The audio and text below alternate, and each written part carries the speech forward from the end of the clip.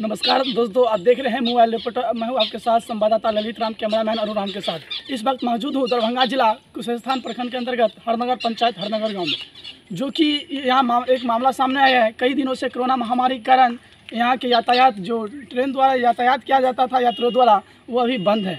क्योंकि ऊपर से परमिशन कोई अभी तक नहीं दिया है जिसमें भाकपा मालिक अध्यक्ष बैजनाथ चौधरी और हरनगर पंचायत के कई ग्रामीणों ने मिलकर विरोध किया एवं उनका कहना है कि जल्द से जल्द ट्रेन का परिचालन शुरू किया जाए। नगर स्टेशन से दरभंगा के लिए गाड़ी चालू करना होगा।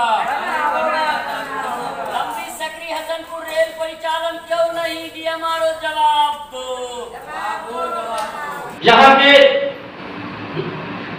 प्रतिनिधि के ज़रिए डीआरएम समस्तीपुर से, समस्तीपुर के नाम से हम लोगों ने मांग पत्र भी देने का आज काम करेंगे और हम प्रशासन से ये बात कहते हैं कि जब तक अगर रेल परिचालन चालू नहीं होगा, भाग वाले के द्वारा अब ये प्रदर्शन लगातार जारी रहेगा। रेलवे और रेलवे मिनिस्ट्री के खिलाफ रेल परिचालन होने तक हमारा ये प्रदर्शन जारी रहेगा। भाकपा वाले बड़े तरीका से इस व्यवस्था को बहाल करने के लिए मुकम्मल लड़ाई करेगी साथियों, इन्हीं चंद बातों के साथ हम अपनी बातों को समाप्त करते हैं और एक बार इस कार्यक्रम में, इस धरना में शामिल तमाम साथियों को बिरौल एरिया कमेटी की ओर से क्रांतिकारी अभिवादन और